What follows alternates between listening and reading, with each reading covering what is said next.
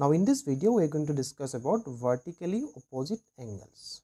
This concept is very very simple.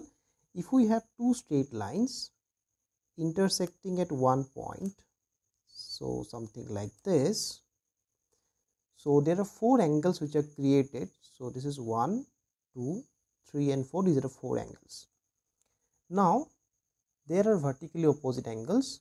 One is vertically angle 1 is vertically opposite to angle 3 and angle 2 is vertically opposite to angle 4. Now another interesting property is that vertically opposite angles are always equal.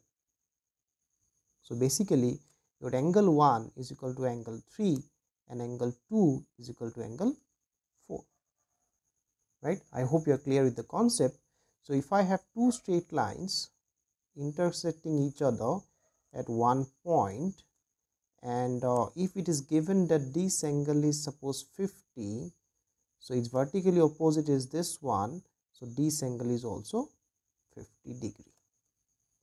All right so in the next video we shall be discussing about corresponding angles